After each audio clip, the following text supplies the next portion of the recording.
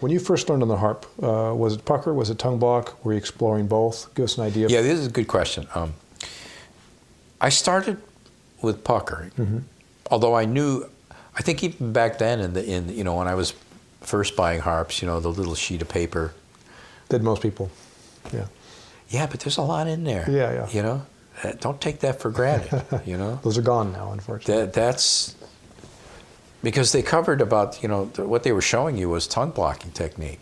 You know, so I learned to do some of that, but I was I was probably focused more on puckering at that time, lip pursing. Um, and then one day, not too far into the beginnings, um, I heard this big Walter recording on an album that was a collection of stuff on, I think it was on Argo. And there is a version of uh, Walter Horton doing Hard Hearted Woman. For some reason, I mentioned this recording to people. Not many people seem to be aware of it or have heard it. And uh, it's Walter, play, Big Walter playing in first position. And most players have know how it goes, you know, this, um, uh, this intro. And I knew, I knew it was first position but there were artifacts to the sound, to the you know, to the way it actually sounded with him doing it. I'm thinking to myself, there's something else going on here that's not coming from what I'm doing. You know, it's not coming from this puckering approach. And so I concluded, well, it must be tongue blocking. So from that moment on, I got deep into tongue blocking. Mm-hmm. And I got to a point with the tongue blocking where it it became I use tongue blocking for everything except for those articulations that involve the tip of the tongue, like digga digga digga digga, you know, that kind of mm-hmm. stuff, which I do a lot of. You know, I do a lot of that kind of tonguing. Which is showcased in Whammer Jammer, for example, in the Oh, yeah. choruses. Yeah. Well, Whammer Jammer draws on every possible technique. Damn near everything you could deal with Yeah. is in there. And let's definitely talk about that in its own little entity Yeah, in a moment, yeah. please. So at that point, now you're tongue blocking everything except art- articulative passages that Yeah. require the, the or Yeah. maybe are better pronounced right. than the pucker. and I stayed that way until a year or two ago. Mm-hmm. Then I had a new idea. I started thinking about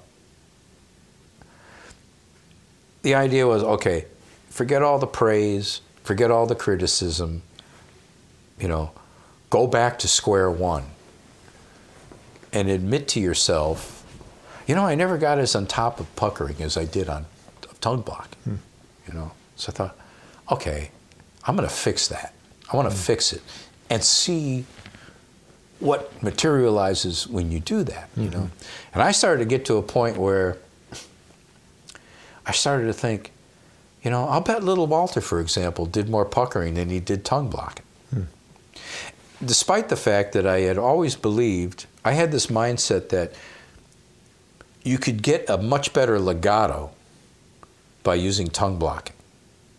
And I, I believed that to a point that it inhibited me from committing to, okay, despite what your belief system is, mm-hmm.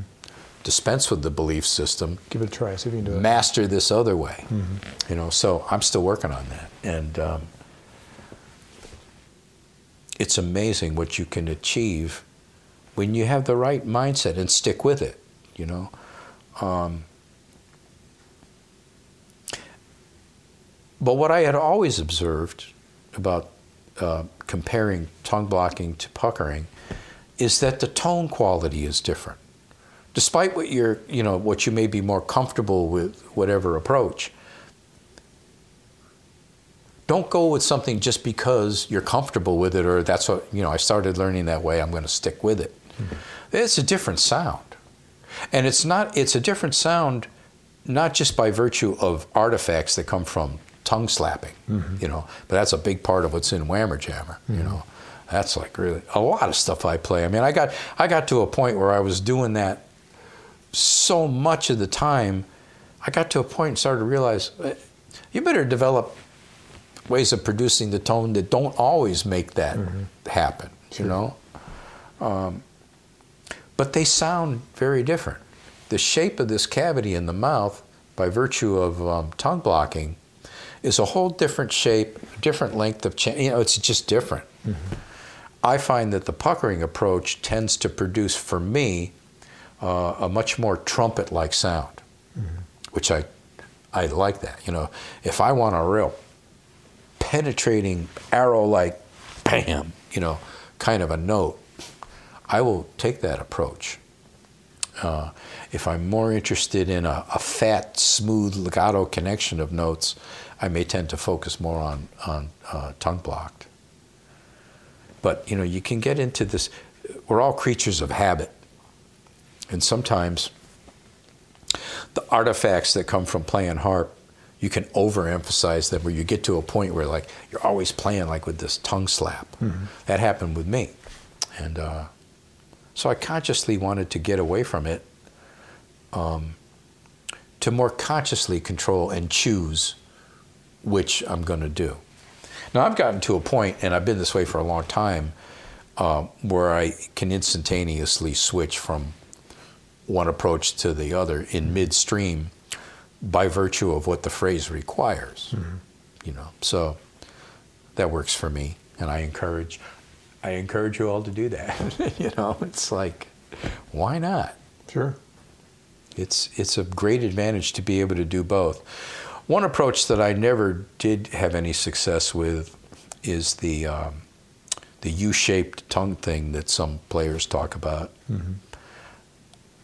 Some have even, I think, in the uh, in the Little Walter book that Tony Glover put together along with um, what's his name Gaines, those guys. Um, the did, Little did, Walter I, story. Yeah, uh, mm-hmm. uh, no, it's called Blues with a Feeling. I think it's the name oh, yeah. of the oh, book. gotcha. Yeah. yeah, the one that's on the Little Walter. Yeah, with Scott Dirks as well. Yeah. Um, I think there's a, some information in there from somebody who knew Walter or hung around with him or something. Something about this U-shaped yeah. thing that supposedly Walter would use on rare occasion to get some extreme thing of sound, you know, mm-hmm. extreme type of tone. Maybe so. Who knows?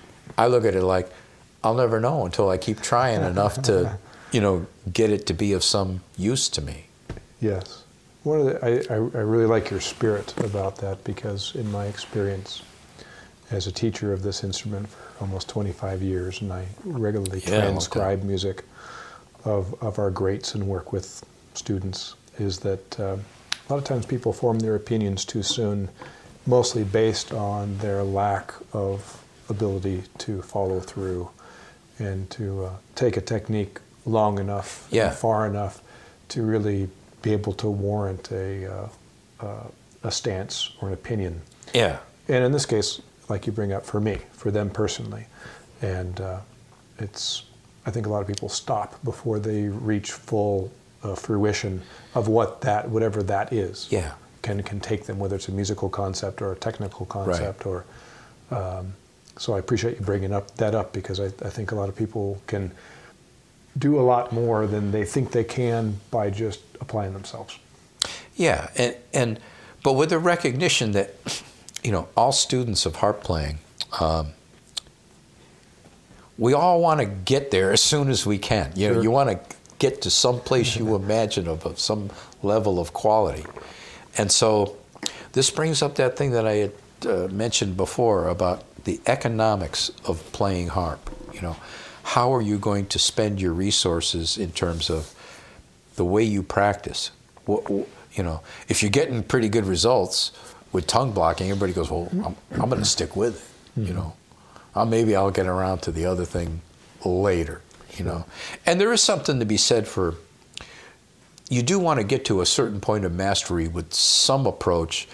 It might be helpful. I don't know. It might be helpful to sort of focus on one and let the other come along later on. I don't know. I can only speak of my own development, how it worked sure. for me. I don't know what would work for somebody else.